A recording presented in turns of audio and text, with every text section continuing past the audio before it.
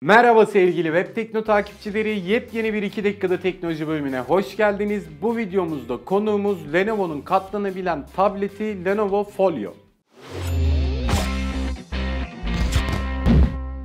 Şimdi eğri oturup doğru konuşalım. Biz normalde Lenovo markasını daha çok bilgisayarlardan biliyorduk. Tabii böyle geçmiş yıllarda. Ama adamlar son yıllarda telefon ve tablet dünyasına da bir ince hızlı bir giriş yaptılar diyebiliriz. Bu tablette o ARGE çalışmalarının bir ürünü zaten. Teknik özellikleri ne bileyim kamerası, zartı, zurtu şunları bir kenara koyalım. Lenovo Folio adından da anlayabileceğiniz gibi kıvrılabilen, katlanabilen bir yapıya sahip. Biliyorum hepinizin kafasında şu anda esneyebilir ekranlar falan filan geliyor fakat Folio böyle bir şey değil arkadaşlar. Bildiğiniz katlanabiliyor. Yani esneme diyemeyiz onu. Şu opsiyon da beraberinde geliyor. Folyoyu dilerseniz 7.8 inçlik bir tablet olarak veya katlayıp 5.5 inçlik bir telefon olarak kullanabiliyorsunuz. Ekranı katladığınız zaman da o kıvrım noktası adeta bir edge ekran gibi görünüyor. Şunu hemen ekliyorum. Folyoyu katladığınızda ekran ikiye bölünüyor arkadaşlar ve sadece ön kamerası sayesinde öz çekimleri yapabiliyorsunuz.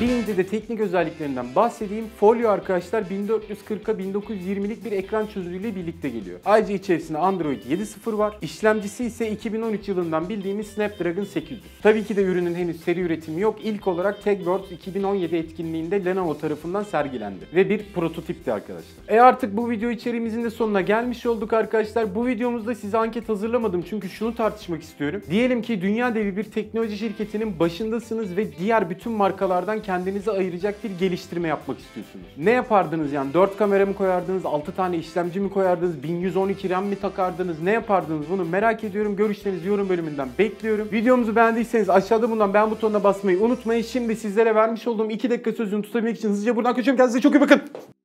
Her iki yanında durmakta olan bağlantılara tıklayarak bambaşka web tekno videolarına ulaşabilirsiniz. Ayrıca ortadaki bağlantıdan da bizim e-ticaret projemiz olan teknostore.com'un YouTube kanalına abone olabilirsiniz.